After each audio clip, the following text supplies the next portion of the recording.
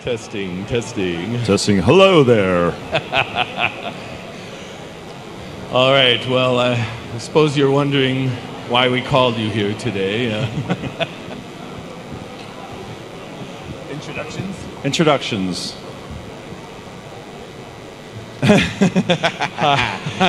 Okay, I, I'm I'm R.J. Mical. I was one of the uh, original team that put the Amiga computer together 30 years ago.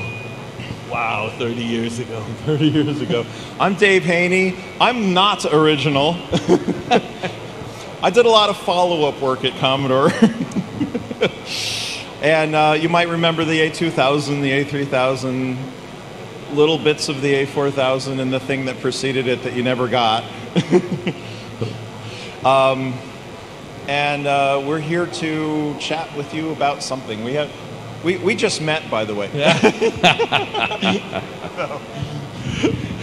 I, I, I have one thing that I want to say before we uh, let Okay. Dave do some talking here. I, I just I want to thank all of you for Oh. being here. This once again, I- this is this is uh, the the fourth event this year that I've gone to about the Amiga, and the thing that I'm finding that I'm loving the most about these events is getting a chance to, to meet you people that so many years ago you were the people we were trying to find. You were the people that we were trying to create a machine for that, that would help define your life, would help you discover yourself, your own talents. And, and I've, I've heard so many stories about how, how you got into the career you got into, into the profession that you pursued, the thing that you ended up loving to do with your life because of that machine that we built. And, and the part that you may not recognize well enough is that this is exactly what we wanted. We wanted to reach into your soul and, and help you find yourself and make yourself a better version of who you are. And, and to, to be in a setting like this where, where I get to now finally meet so many of you, this is like heaven for me. I'm ecstatic at this moment and I couldn't be happier. And so I'm going to stop talking now, but afterwards, please come find me and let me shake your hand because I want to be your friend.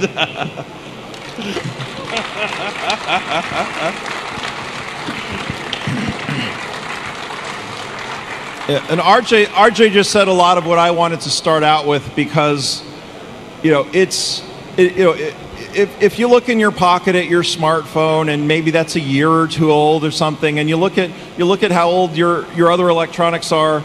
In my business, designing electronics, it's completely 100% unreasonable to think that somebody would still be using your product two or three years later, much less 20 or 30 years later um, you guys have kept this alive longer than I could have possibly hoped. So I thank you.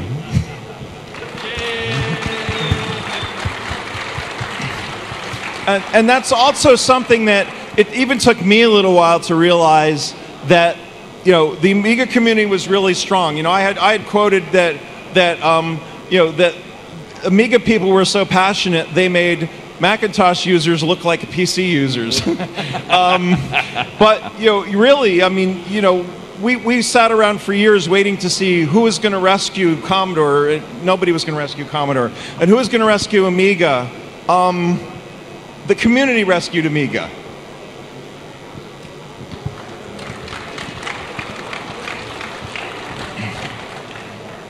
Um, you know, you know, I got into Commodore in kind of a weird way. I was working for a large company I didn't like.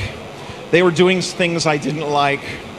Um, I was right out of college and I was going to work every day and with the, but the, it was the largest the largest hiring this company had done in years and they were bringing in all these college students but one by one the college students were disappearing as they were getting assimilated by the Borg or something like that and I didn't want to be that person I, I eventually got up the, the, the stones to send out my resume to the one company in, that listed in the local newspaper that wasn't saying you need two or three years of experience because I hadn't had it.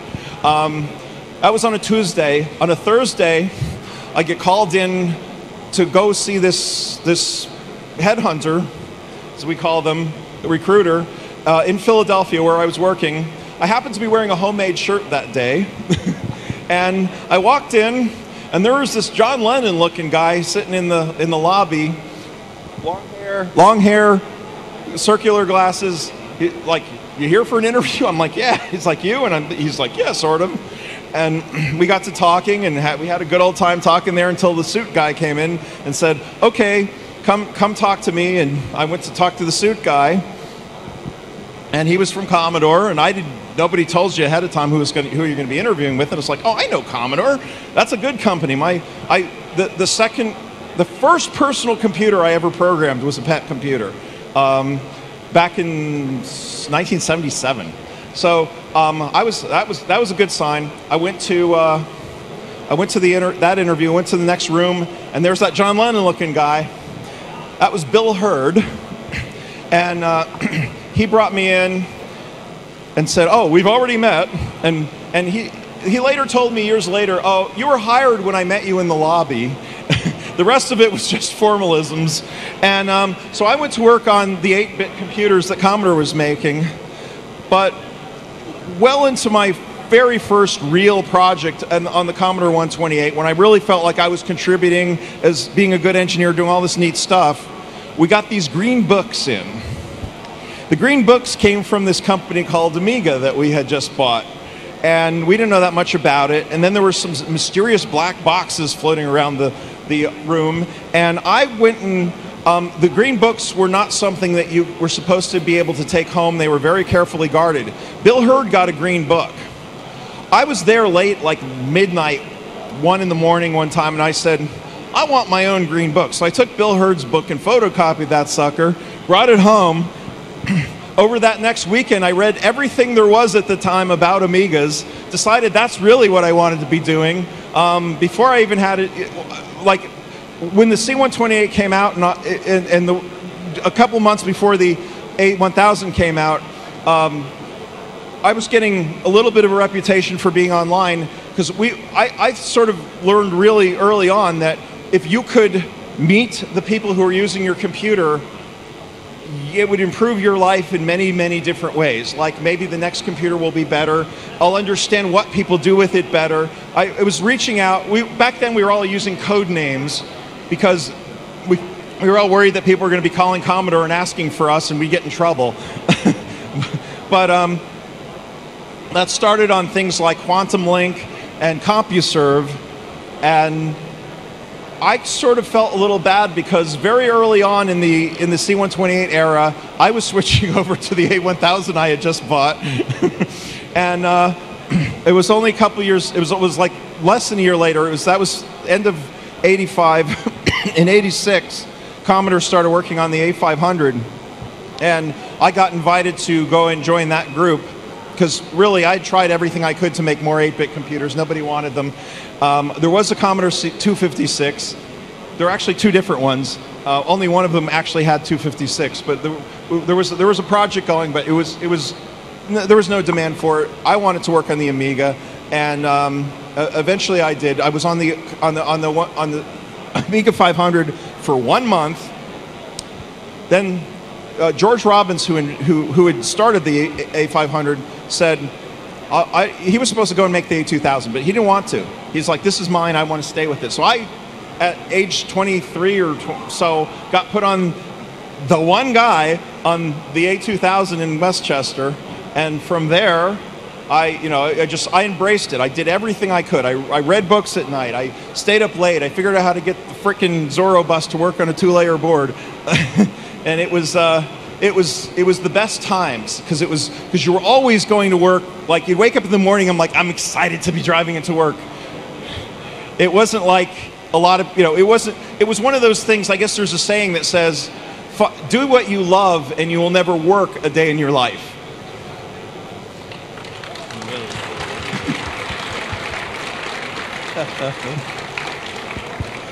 You know that excited to get into work thing uh, we, I, we, I've done a lot of technology over the years. I've been involved in a lot of projects since the Amiga, but the Amiga was by far and away the most passionate undertaking that I've had in my career. We were we were more than employees. We are more than than mere believers in, in a dream. We were we we were believers in a religion. We were on a mission to change the world. We really believed that we would have the kind of effect that it seems to have had on so many people.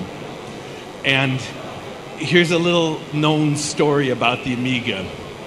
When we were developing it, we had these, uh, these the chips, the big three chips in the Amiga were done up originally in, in high-speed CMOS. It's a complicated story, but they were these, they, they looked like mini Cray computers. Each chip had a, a bunch of boards and a lot of parts on it and it was extremely delicate electronic hardware. If, if it took a static hit, it burned out half of one of these boards, and, and they would have to spend days replacing all the parts and figuring out what was broken. So we needed to make sure that anyone who got anywhere near the board was not, uh, didn't have static electricity. So we had this mat on the floor called an anti-stat mat that when you would step on it, it would discharge the static electricity from your body. And we had a, we made a corridor out of chairs. So if you wanted to get to the hardware, you had to go up this corridor and, and step on this mat. So we had this channel that you would walk through. Now, meanwhile, the hardware was in the software lab, so all the software guys could do the development. And, and the cables went from the hardware and they went across and draped out to all of the room to connect to our development boxes. But they draped right over this walkway that you had to go through. So when you would approach the Amiga hardware, you had to go up this channel, this corridor, and you had to duck under the cable. So it was like you're bowing. Every time you came up to the Amiga, you would bow.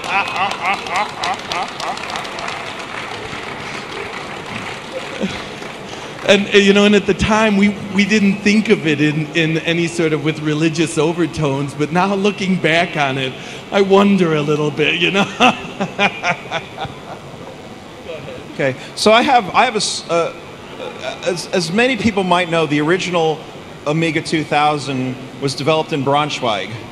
And I, I, I, what I did was I took the, the, that idea and applied the A500 chips to it and added some stuff like the video slot all the way so that you could put a, to- well, we don't know about toasters yet, but it, that's what made toasters possible. And, and the CPU slot was done a little differently so you could just plug a CPU in.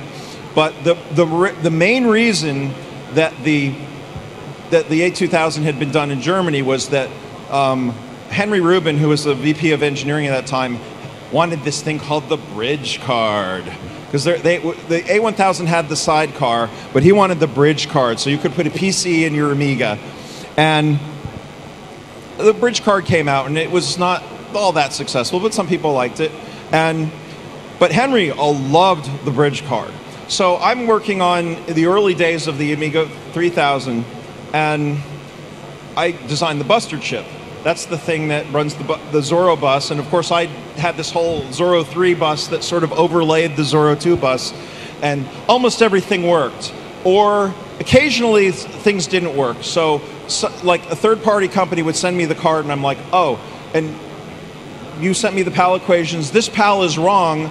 In a couple cases, I was actually able to reprogram the PAL and fix it without changing their board at all. So sometimes they made some mistakes on Zorro, but the, the bridge card was not working, and that was not good with Henry. So one day, I was really, I'd, I'd spent the whole day working on the bridge card, and I couldn't get it to work.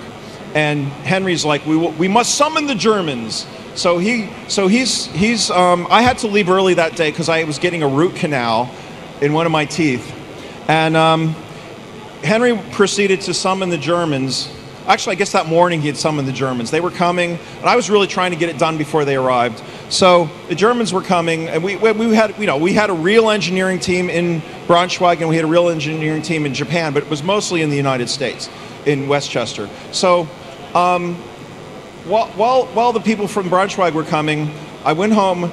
I was driving home in my little sports car, going about 90 miles per hour, and I suddenly realized I know what's wrong with the bridge card. And I went and got my root canal and drove back to Commodore. And I got there kind of lateish, and the Germans had been there, said hi to Henry, and went out for dinner, and they were going to come back. Um, I sat down at my, my little workstation and, and took out my soldering iron, made a couple little changes to the bridge card. It could have fixed it on the motherboard, but it was I just put it on the bridge card. It was just a little hack, and plugged it in. And sure enough, MS DOS booted up, and I wrote this little script that said the bridge card's working, and left it running in a continuous loop, and went home. And of course, nobody knew that I had been there. so the the Germans come back from dinner and meet with Henry and go to look at the A2000 that I had, the A3000 I had set up, and see this thing scrolling over and over again. And they were dumbfounded, and, and Henry was dumbfounded. And um, I came in late the next morning because it was pretty late by the time I got home. And you know, I was like, oh yeah, I came back last night and fixed it. it also tells you something about when you get stuck, just go in a car, blast some really loud rock music, and drive fast, and you'll probably, the answer will just come to you. Uh, when you get stuck, go get a root canal job. I, I too was uh, involved with this, uh, the, the effort to get a PC running on an Amiga. And that project worked, and, and you could have a PC window open up on your Amiga. And having the window open made our bosses very happy. But we were most satisfied when we closed that window. so we're out of time, my friend. That's We're it. out of time. Yep, that's it. Oh no! I guess you'll have to come and talk to us individually. Yeah, we'll be hanging around. Please come find us. Thanks, everyone. Thank you.